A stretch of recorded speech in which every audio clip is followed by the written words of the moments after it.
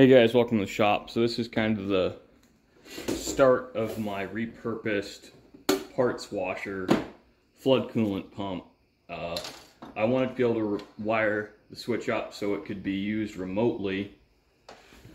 This is just a Harbor Freight parts washer. I never really used it. Um, I'll still have it to put solvent in the scrub parts. I just won't have a pump on it. Uh, you can see this has been sitting for a while, but it does turn on which is great. And I ordered some what's called mineral lard oil, which is a uh, combination of rendered animal fat and mineral oil, hence mineral lard oil. Now I'm just to wrap this in tape just so I don't have to worry about it. Probably could have trimmed this, but as you see, not the end of the world. This can't really be submerged in the oil, so I am going to put a brick in the bottom of a five gallon bucket of my coolant sump and keep this off the bottom of the bucket. That'll also help keep this from sucking up the nasties. And I wanted to make this semi-portable so I can share it between the drill press and the milling machine. I still haven't figured out a really good way on the lathe to contain it and get the table chip pan drained.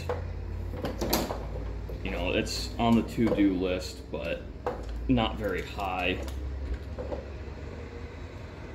This isn't something where it needs to be somewhat neat, because one, it's for the shop. Two, you're not really going to look at it. This is going to be in the bottom of a bucket.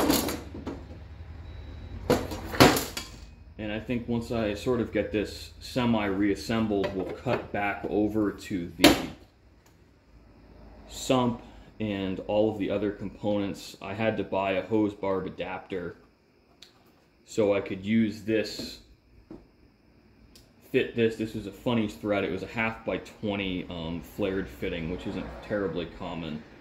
Fortunately, Amazon had them, and it was $11 for the fitting. So, excluding the cost of this pump because I already had it, this project is about 150, 160 bucks.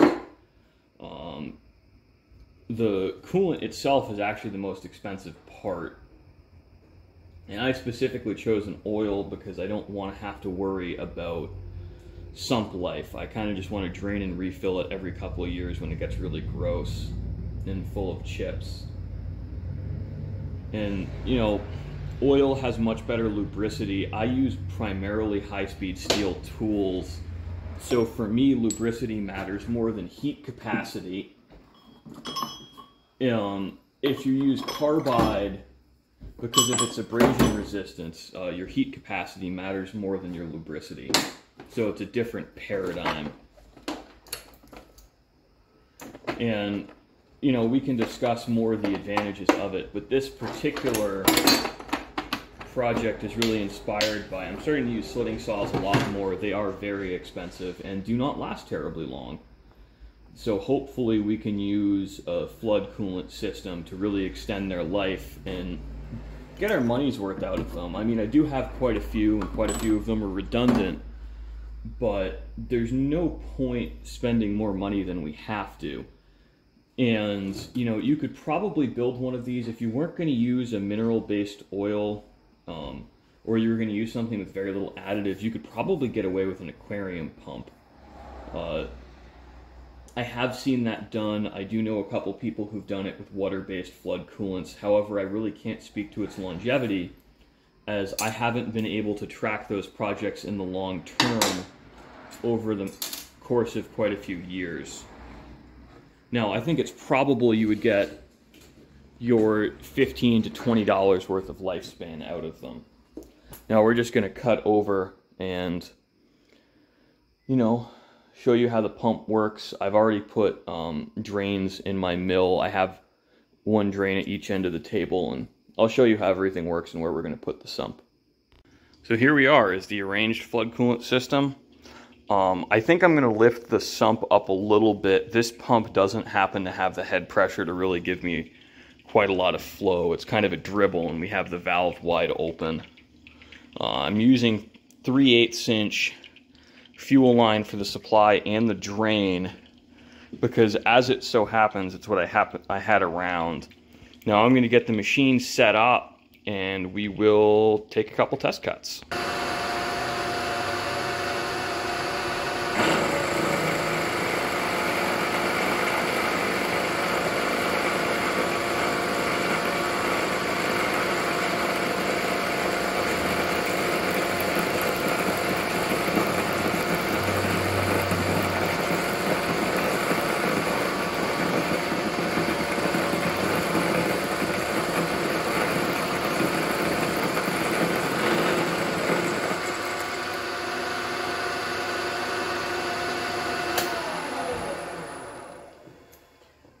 Now I think we've got a few things we'll need to address here.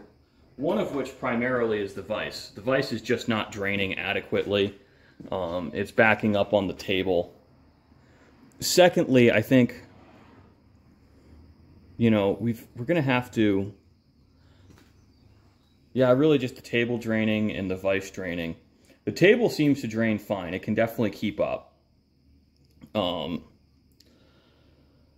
that I don't think will be the issue. I really do think it's going to be getting the vise to drain into the table.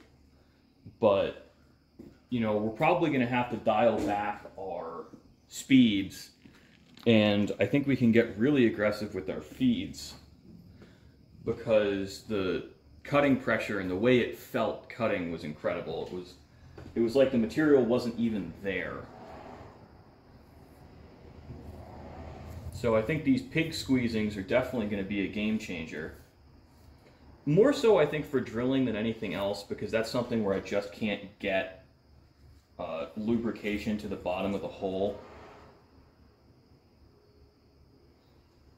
And I think what I'm going to do is I'm going to pitch the whole mill back so we drain towards the rear.